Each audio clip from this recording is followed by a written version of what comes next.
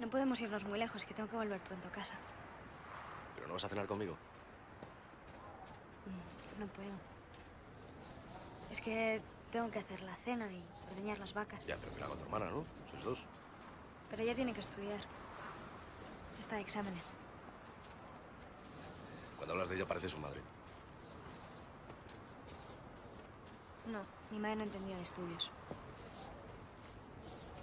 Solo de trabajar. ¿De qué murió? De hacerle caso a mi padre. Le dio un trombo en el pulmón. No dio tiempo en a que la viera el médico. Lo siento. ¿Por qué te enfadas cuando hablas de ella? No sé, no sé por qué me enfado. Pero pienso en ella, a veces la veo delante. Y la ofetearía, la gritaría.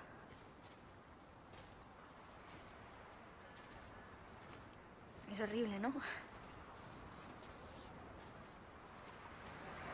Porque os dejó tirados. Tú crees que te abandonó, pero es que los muertos no saben que van a morirse.